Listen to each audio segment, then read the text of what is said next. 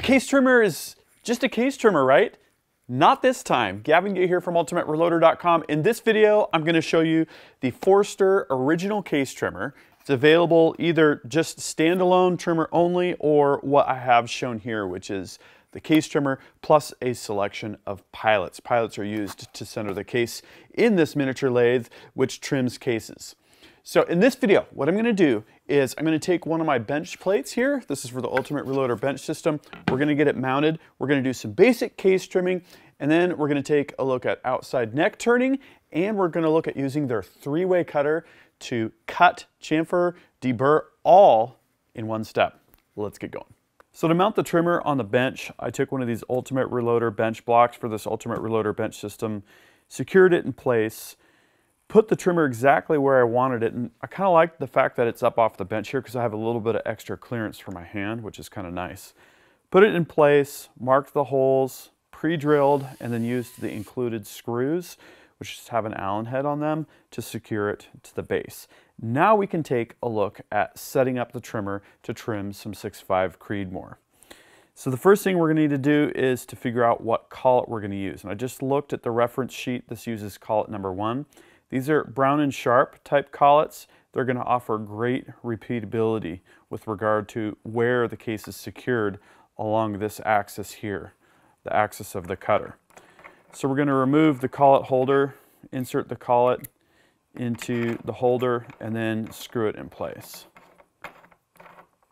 Pull this out of the way, and we'll just confirm that we have a nice secure clamp on the case, which we absolutely do.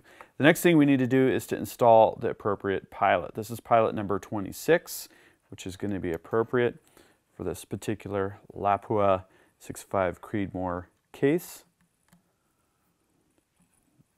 Push in on this while we tighten the set screw, and that's going to hold that in place. Now, when we insert a case, we're going to want to push into the collet and then get the pilot supporting the front of the case, push towards the collet while we clamp it down. Okay, now we need to get the cutter basically touching the case mouth, and then we're gonna take this stop collar here and get it basically rough dialed in here. I'm gonna just push it against the bearing here, which is stationary. Tighten the set screw. And what's cool about this case trimmer is we've got a fine adjustment right here. There is a set screw that holds that fine adjustment in place, but basically what happens is this, the set screw here, the fine adjustment screw rather, uh, determines exactly how deep the cutter is going to go. So if we try a trim now, we're just going to take off a very minuscule amount. We can take this out now, check it for whatever length that we want to trim, and then Make sure the front is supported here while we clamp it. Still getting used to the way that, uh, that this trimmer works. If we want to increase the depth of cut, we're going to retract this screw ever so slightly. Each turn of that fine adjustment screw is about 32 thousandths of an inch of extra trim depth, okay? So now we're gonna spin the cutter and we're gonna see a bit more material come off. What I like to do is I like to take the trim to length as specified for each particular cartridge, each case, and subtract about 10 thousandths of an inch just so that you have a little bit of room to grow. Now we can chamfer and deburr the inside and outside of the case mouth. I'm just going to walk through five of these to show you what the process looks like for successive cases. This is essentially a hand lathe. And there's a little bit of a technique. I'll show you what I like to do when I'm hand cranking this, this kind of a tool. Again, we're gonna support the front, push in. I like to basically let my hand rotate so that my wrist is essentially staying a little bit more stationary rather than having the hand crank completely each time. And when you get the, the rhythm of it, it's easy to apply torque evenly as it's spinning at whatever speed this is cutting very clean. I like that. Just like that. You just keep cranking until you stop hearing the tool cut more material on there. Very simple, simple type of arrangement, but with a good cutter, with good geometry, works really, really well. Okay, that's the basic trimming process with the Forster uh, original case trimmer. Let's next take a look at the 3-in-1, which is not only going to trim to length, but it's also going to chamfer the inside and outside of the case mouths. So this is the 3-in-1 case mouth cutter, and it's going to take only a couple quick steps to install. We're going to loosen the set screw for the pilot, remove it, and then turn it in. This is going to put it below the surface because this cutter is going to slip over the top. We're going to remove the O-ring that prevents the cutter from protruding from the bearing block.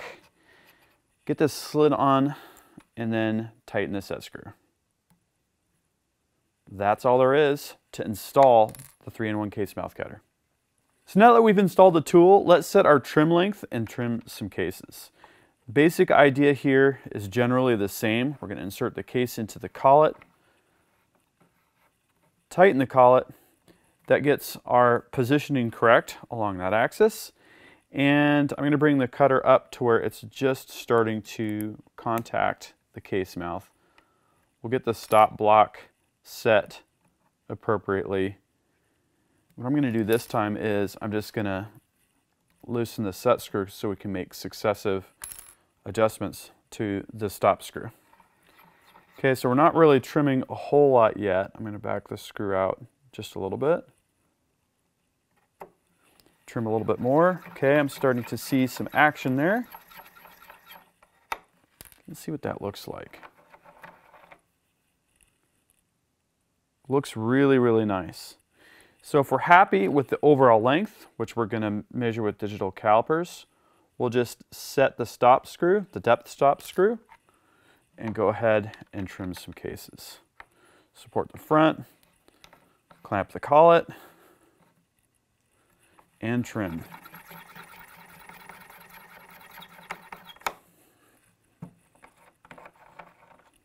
Look at that.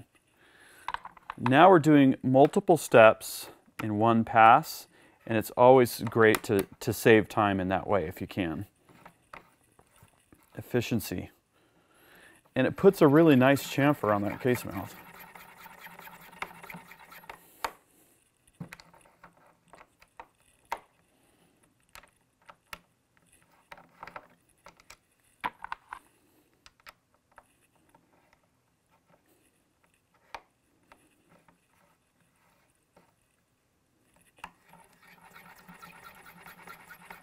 After a few cases, we'll get into the flow.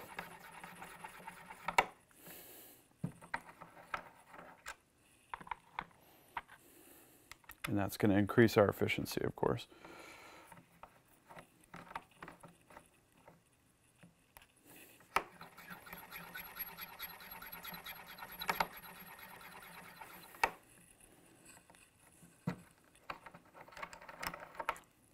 Looking good. The Forster outside neck turner accessory is essentially a package that has this feeder cam that controls the infeed, the cam follower, the cutter head, and then for the particular bullet diameter or inside neck diameter that you're going to be turning, there's special pilots for this outside neck turning assembly. And what we're going to do, I'll show you the installation process here real quick, is we're going to go ahead and remove the 3-in-1 cutter and then remove the cutter and handle assembly. You'll see here in the frame right under the bearing block, there's a little slot and the cam follower actually slides right into there. Now we take the cutter, slide the cam over the cutter head, insert that in. What we'll see here is as we rotate the cam, it follows the cam follower and incrementally changes the position of the cutter shaft in the frame. Okay, now let's get that cutter head installed. We're going to need to move the stop collar to a different depth when we get this set up in place. So I'm just going to crack the set screw so that we can now move the shaft a little bit further inward. And for the particular pilot we're using, the 264 pilot, there's a flat on that pilot and we want to get that oriented right towards the set screw, which we're now going to back out so that we can insert the pilot into the end of the cutter shaft. Okay, and again, I'm gonna be very careful about where I'm facing that flat so that the set screw will hit the flat. What we'll do is we'll kind of rotate things a little bit while we tighten it to make sure that it's seated in the proper position. Now we can take the outside turning cutter, slide that in place, and tighten down the set screw that holds it to the cutter shaft. Okay, let's get his case installed and we'll get our adjustments dialed in. I'm going to do this familiar process of getting the pilot into the case neck, tightening things down. And what I'm going to start with here is I'm going to take a look at the cam. I'm going to advance it all the way to the left-hand side here. And when we do that, we're then going to want to take a look at the position of the cutter on the outside of the case neck. And we're going to want the stop collar to engage right around that point. Got to get the correct Allen key, of course. Okay, loosen that. Okay, so the cam is all the way at the end of its throw. I've got the cutter approximately where it needs to be there. Get my set screw in the right place here. This is going to take a little bit of trial and error and experimentation, and we can use that depth stop screw to adjust where things stop. Okay, so now when we go, when we trim, here's what's gonna happen. Actually, I have my set screw hitting the frame here. Let's work on that next. We're gonna want to loosen the set screw for the cutter and then feed the cutter in. I'm just gonna move this here to a position where it's right over the case neck. And we're gonna just feed it in until it contacts and then just a tiny bit more. This is something that you're gonna wanna check and set very carefully with something like a tubing micrometer so that you take off just the right amount and you have the appropriate case neck thickness. Okay, so now we should be set up to start trimming. And I'm gonna trimming the outside, turning the outside. And what I'm gonna do is I'm gonna start cutting and I'm gonna feed it in and we should see some trimming happening. And what I'm seeing here is the outside of the case neck is just getting cut cleanly all around it looks like. And I'm gonna feed, back feed that while I'm spinning so that I don't get a drag mark. So that gives you an idea. That looks really nice. And again, we can fine tune the cutter depth to take off more material or to take off less material. Sounds complicated and it's a little bit tricky to set up, but once you get the idea of how all of these parts work together, we're going to get that cam all the way out. Go ahead and feed.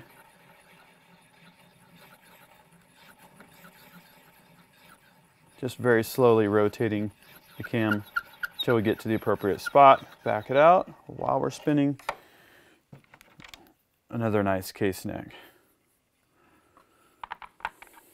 Like anything else, You'll develop your technique. You'll speed up as you get more experience with the tool. And this is the first couple times that I've run cases through this. So as I use this tool more, I'm sure that I'm gonna get more efficient as well. Look at that, I'm already getting better. it's looking really good as well.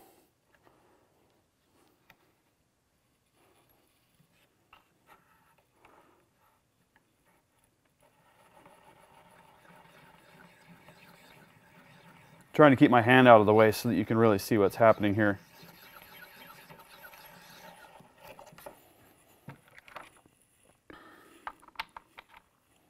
One more time.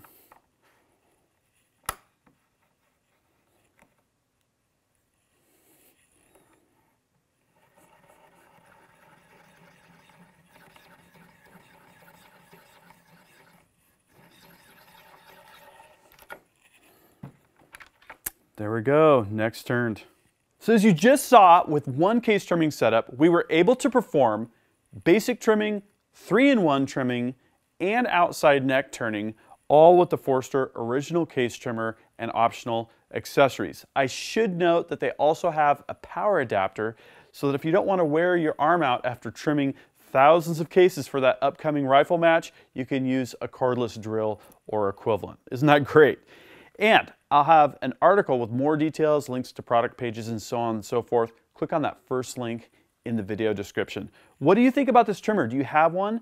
Please drop a comment. Let's start a discussion. Don't forget, I got Ultimate Reloader shirts at the Ultimate Reloader store. I'm on Patreon. And don't forget to subscribe with notifications because I got a lot more cool related content coming up. Until next time, happy shooting and happy reloading.